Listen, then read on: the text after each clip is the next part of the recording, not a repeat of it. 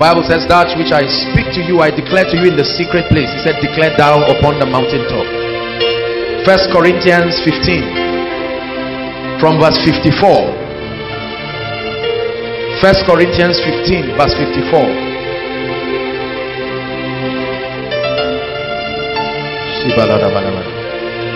So when this corruptible shall have put on him corruption, and this mortal shall put up immortality, then shall be brought to pass the saying that is written, Death is swallowed up in victory. Verse 55. Can we read it together? One to read.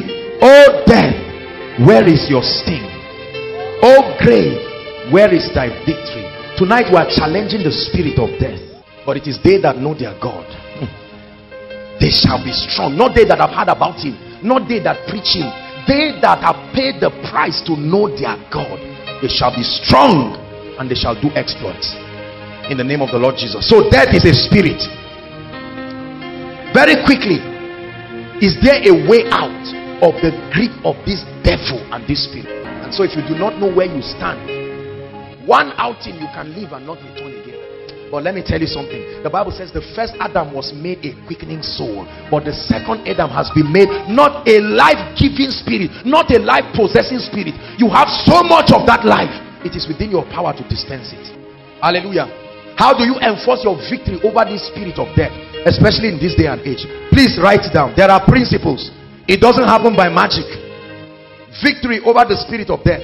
Number one, realize that in Christ if you are born again and you have given your heart to Jesus Christ genuinely, the Bible says in Ephesians 2 verse 1 that we are above. Everybody say, I'm above.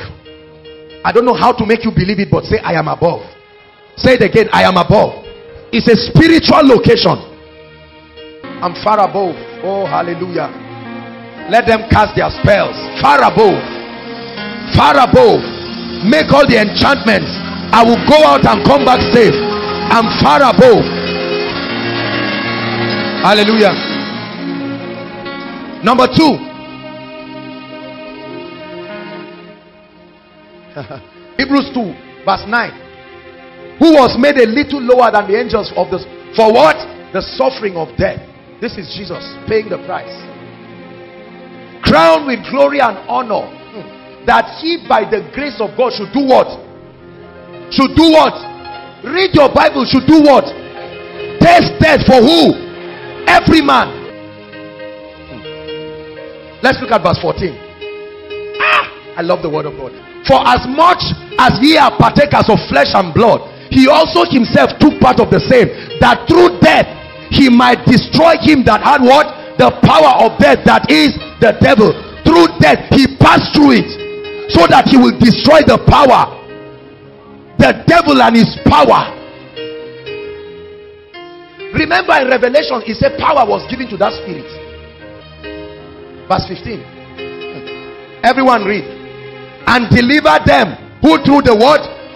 Stop. Not through who through death. Through the fear. There is a terror. There is a spirit. That's why every time wickedness is happening, the spirit of fear always precedes it. To make people afraid. When a Habal is saying three days, you will not leave. He's releasing the spirit of fear the fear of death were all their lifetime subject to what this is what is going on you can't go out in the morning because you are afraid the fear of death brings bondage some of you are supposed to have traveled you can't travel because you are wandering the car number three realize that death has been defeated revelations 1 verse 18 i am he that liveth and was what dead and behold I am alive forever. Amen. And I have the keys. We're going to find out where that key is today. First Corinthians 15 verse 55. The scripture we saw. How can a spirit terrorize nations? Terrorize people? Oh death! Where is your sting? It likens the way death takes people to the sting of a scorpion. So he said, I have given you authority over snakes and scorpions. Scorpions that sting. He said, Oh death, where is your sting? Oh grave, you have been boasting that any man you take must enter. Where is now your victory? there are people who have defied the power of the blood. Hallelujah. Do you believe that? Do you believe that? Number four. How do you enforce your victory?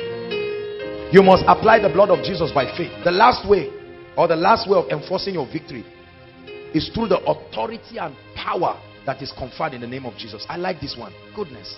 One of my best scriptures, Luke 10 19. Behold, see, conceive it as a reality that I have given you. I give you. The word there is not power like dunamis, is the word exousia. I give you authority. The authority that comes with my office, I give it to you. To tread upon serpents, scorpions, and over how many? All the powers of the enemy this is the best part of the verse. And nothing shall by any means. You went to school. Brothers and sisters, what is the meaning of by any means?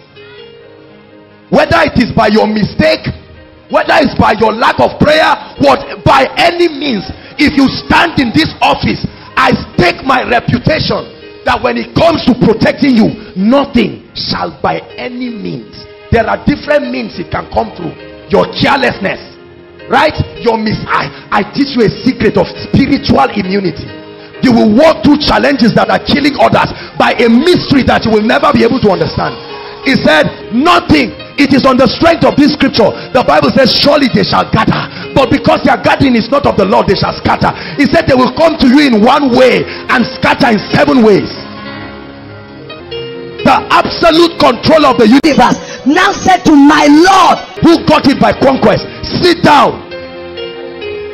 And the bible says whoever enters this office some things will start becoming possible